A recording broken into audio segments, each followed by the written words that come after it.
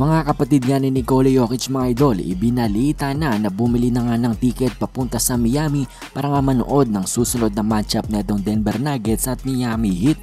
Matapos nga yun mga idol ang mga salitang sinabi ng Morris Twins sa social media. Sigura't pupunta at manonood nga mga kapatid nito ni Nikola Jokic para nga protektahan siya na kung sakaling meron ngang hindi magandang mangyari. Dahil alam naman natin mga idol ang mga Miami Heat players ay galit at inabangan pa nga itong si Jokic sa hallway nila. Sigura't maninigurado nga lang ang mga kapatid neto ni Jokic. Di ba't nakita na nga rin natin na parang pinoprotektahan nga nila itong si Nikola nung kinonfronta nga siya neto ni Devin Booker. So ayan nga mga idol, parang merong naghihintay na rumble sa next game nga na itong Nuggets at Miami. Pero sana naman ay hindi ito matuloy at maging peaceful nga ang muling paghaharap netong Denver at Miami sa November 29 or November 30 naman dito sa atin.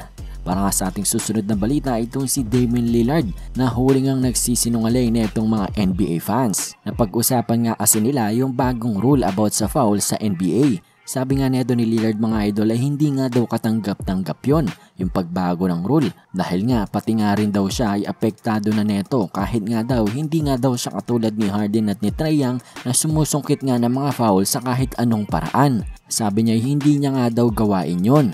Pero nga mga idol, meron ngang nag-post ng isang compilation na itong si Damian Lillard ay nanunungkit nga ng mga foul. Tingnan natin mga idol.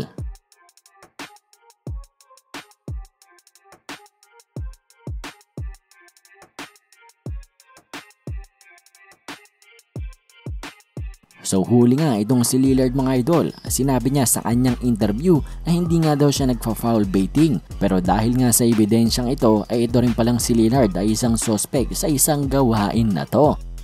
Pero anyways nga mga idol, punta na tayo sa ating panghuling balita tungkol naman ito dito kay Alex Caruso. Dahil isiniwalat niya nga nung binigyan niya siya ng contract offer netong Chicago ay bumalik nga daw siya sa Lakers para mag-negotiate ng kontrata dahil gusto niya nga magstay sa Lakers. Pero dalawang beses nga siya na tinanggihan ng Lakers at kaya nakapagdesisyon na si Alex Caruso na maglaro na lang para sa Chicago Bulls.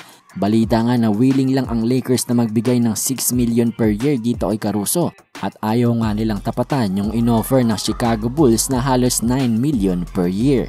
So ano bang masasabi nyo mga idol? Sa tingin nyo ba ay dapat nga na ibinalik netong Lakers si Caruso sa kanilang team or tama lang na pinabayaan na nga siya? Comment down below lang mga idol at yun ang alabang din para sa ating mga balitang NBA ngayon. Maraming salamat sa inyong panonood. Bye!